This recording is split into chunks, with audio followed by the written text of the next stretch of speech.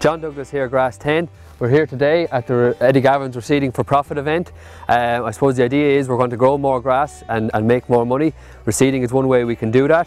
Um, we, we, see here there's a list of, of benefits that, that reseeding, the reseeding can provide. I'm not going to go through them, but ultimately the thing to remember is that every additional one tonne of grass utilised on dairy farms is worth 173 euro and on dry stock farms is worth 105 euro per hectare.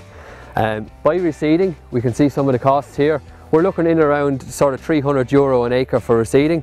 Um, you know, there's some things here that you might be able to do yourselves. We, we have it all down on contractor costs. So in or around the 300 euro uh, per acre or 750 euro uh, to 800 euro per hectare of a cost.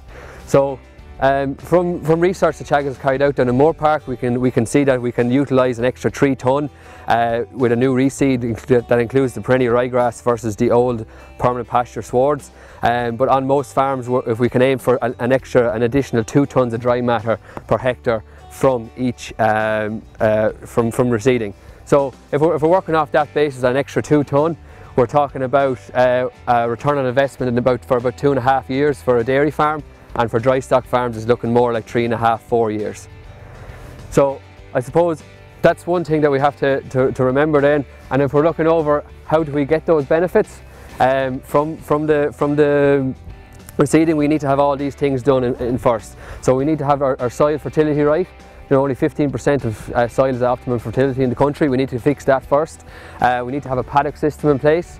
Um, we need to have good infrastructure in terms of water, water roadways, because again, remember, most of this grass is grown in the shoulders of the year, so we need good infrastructure and a good paddock system to make the most of that additional grass. Uh, then we're, we're, we're, once we've all these things sorted, then we're looking at reseeding you know, these things have to be done first before reseeding. Uh, once after reseeding then to, to, manage that grass right, we need to use rotation planners. So, you know, a spring rotation planner in the, in the start of the year, your 20 day rotation in, in mid-season grazing and your, your autumn rotation planner in the autumn to get the most of this grass.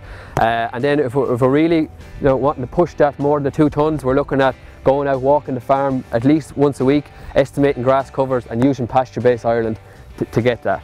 So ultimately the goal is to grow 14 tonnes and reseeding can help us do that if we do everything here right.